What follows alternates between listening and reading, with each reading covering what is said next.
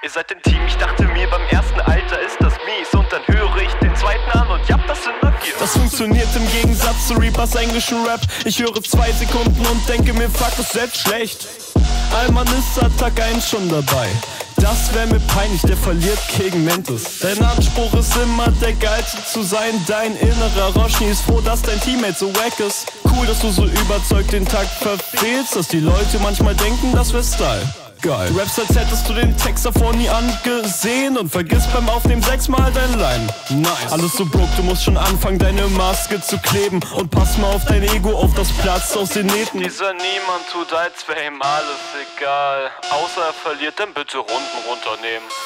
Hey Roche, NMD. Ey, sag mal, was ist dein Problem?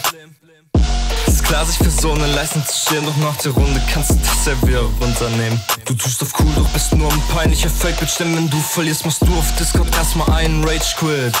Du Schrotthaufen deliverst hier so mäßig Qualitätskontrolle, ihr werdet vom Filter ausgesiebt. Der eine Typ wirkt, als hätte er zu viel JBB gesehen, der andere, als würde er nach dem Dreh D&D spielen gehen. Folgendes ist wahr, auch wenn es mir keiner glaubt. Geheimratsecken größer als der Bauch. Ah, Beats, ihr pickt und so komplett nicht eure Liga. Auf den schwindet ihr nach hinten, als wird ihr das Haar von Reaper. Steigt aus und macht ein Tape, denn euch kann sonst keiner ertragen. Und wir freuen uns auf die Platte, so wie Reaper in sechs Jahren.